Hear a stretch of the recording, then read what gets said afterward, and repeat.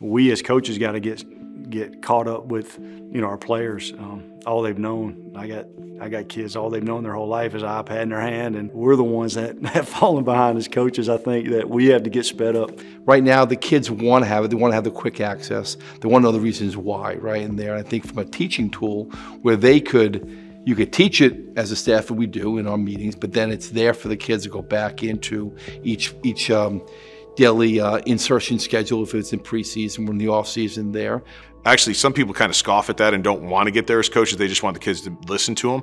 Uh, I think, but the reason they want the why is they have a deeper understanding. And instead of just following the line on the chalkboard to do it, they want to understand why they're doing it, how it interacts with other people.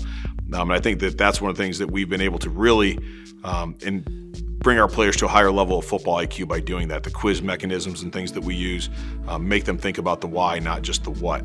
Just play, you know, being able to, you know, being able to learn at a distance, being able to pull out that iPhone or that iPad uh, or that computer and, and just being able to get on and see, you know, the film, the um, scouting reports, things like that has really been big for us. It's very nice because my staff is very young. Um, you know, I'm the, the oldest guy on staff, so um, they kind of learn the same way that our, our athletes do, and they do it through their phone. They do it through digital content, and um, these these guys like to be on their phones. We all know that. That's instead of uh, fighting that constantly, let's let's get them on their phone so that they can look at the the plays, the information, the scouting reports, uh, playbook information, whatever it is.